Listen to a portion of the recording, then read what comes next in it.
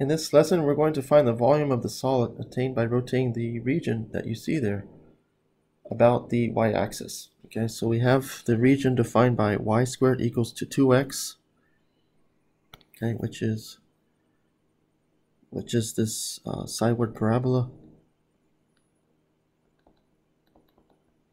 And we also have uh, x equals to 2y.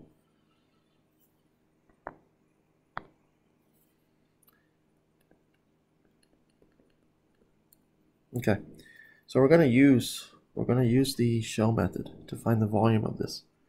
Okay, so so the shell method is right. You have the volume equals to two pi times the integral going from some lower bound to upper bound. Um, in this case, since we're going around the y-axis, okay, then the represented piece is going to be vertical, right? It has to be it has to be parallel to the axis of revolution. So that means the integral has to be in terms of x. Okay. All right, so we're gonna have we need to know the the height of that represented piece and the radius for that volume. Okay. Okay, for the the, the, the radius for that um, the radius of that volume, which which is basically the uh, the difference between the where the represented piece is and the axis of revolution okay? And that's going to be just x okay? Okay so that's from here to here. Okay? And the height okay? The height of this is just the difference between the two curves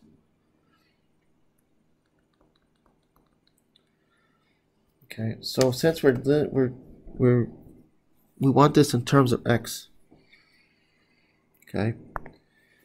So this is from this part, this is going to be y equals to square root of 2x. Okay. And then over here for the other part, this is going to be y equals to 1 half x. Okay. So we do the, the height of that represented piece will be top minus bottom. Okay. So h of x is going to equal square root of 2x minus 1 half x. Okay, so we have all the components now. Um, and the bounds, the bounds are going to go from 0, so it's going from 0 to 8.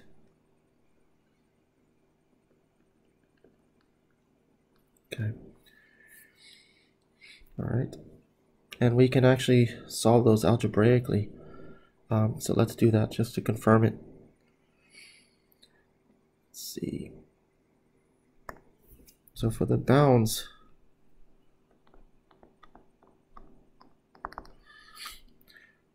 so we know that y, y squared equals to 2x and x equals 2y. So what we can do is we can go ahead and set these two functions equal to each other. So square of 2x equals to 1 half x. So we square both sides. So we're going to get 2x equals to 1 fourth x squared. Okay. So that means we have 2x minus 1 fourth x squared equals to 0. So we can factor out x here. So it's going to get, leave us with 2 minus 1 fourth x. So one of them Right, so you have x equal to 0 and 2 minus 1 fourth x equal to 0. So that means we're going to get minus 1 fourth x equals to minus 2, therefore x is going to be 8. So there's our bounds. It's going from 0 to 8. Okay, so now we have the integral, or is that 2 pi times the integral going from 0 to 8. h of x okay, which is square root 2x, okay, minus 1 half x, and then times p of x. Remember, p of x is the radius. It's the radius that's changing, right? That's in terms of, right, in terms of your y. So in this case, it's going to be x. Okay, so it's just the distance between the represented piece and the axis of revolution. So if you right? So if you look at this picture down in the lower right hand corner, that's the volume that's being generated, okay? All right, so the vol so the radius I'm talking about is is going to be somewhere here, okay, like this. So it changes as we go from from top to bottom, okay? All right, so now uh, we can go ahead and simplify this, take the integral, okay? So we're going to get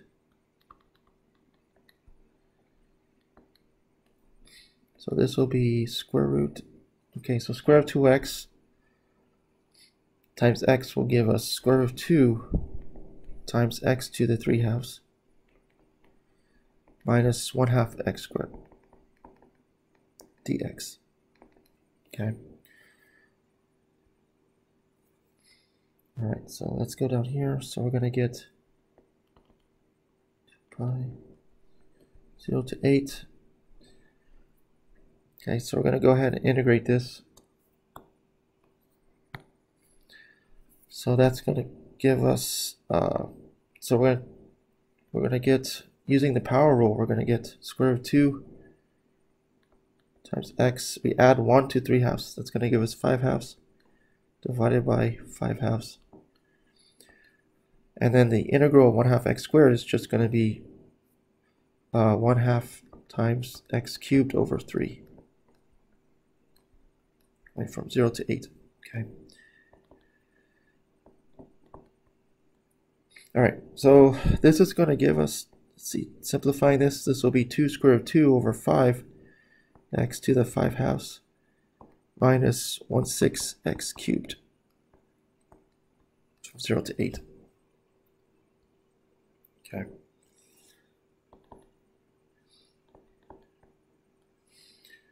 All right, so go ahead and plug these, uh, plugging in our bounds. We're gonna get eight to five halves minus one six times eight cubed. Okay. All right. So a little bit of algebra here. So 8 to the 5 halves. Okay, so we need to simplify this. So 8 to the 5 halves is going to, that's the same thing as 8, uh, sorry, square root 8 to the power 2, or to the power 5. Oops.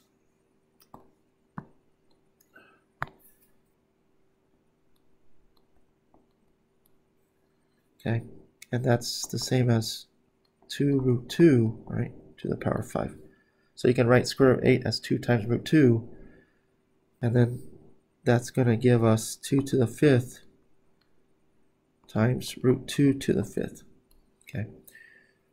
All right, so plugging all that back into here, okay, we have 2 root 2 over 5 times uh, 2 to the fifth is just 32. Okay.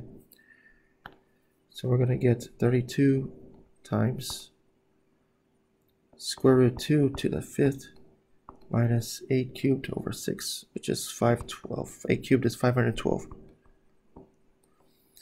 Okay, so then,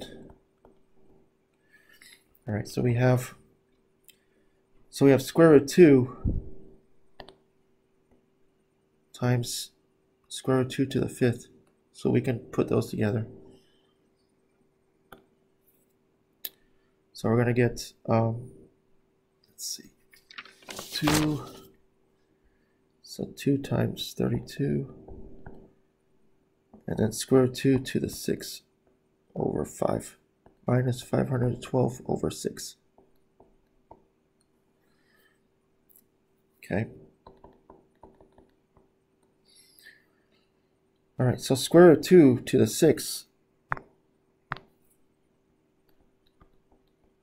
Okay, that's the same thing as 2 to the power 1 half to the power 6, which is 2 cubed, and that's equal to 8.